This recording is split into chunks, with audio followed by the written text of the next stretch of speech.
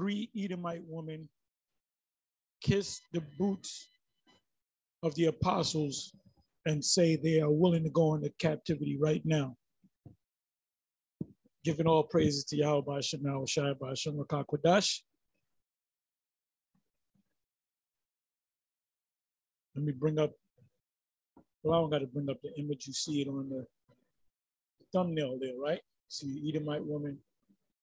Give, give me a second here. I can't find it right now, but this is all you really need to know. This, uh, you know, we almost out of here, man. And uh, this actually, this actually happened uh, yesterday. Three Edomite women, well-to-do Edomite women, came up and um,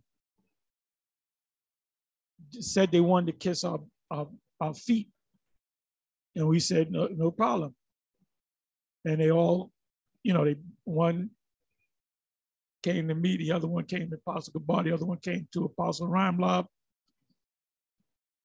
And um, Bishop Shak- was just filming it in awe. Now, if there was a four feet of white woman, they would have kissed his feet. There was only three of them.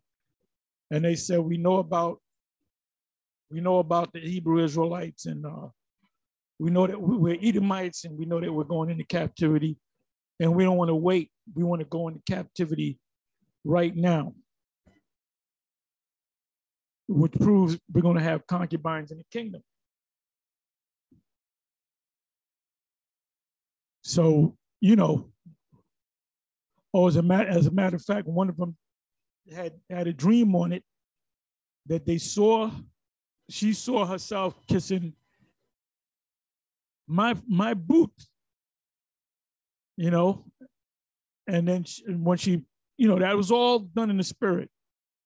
It's all done in the spirit. And, um, you know, it happened, you know, anyway, with that, I'm to say uh, shalom. On to the next one.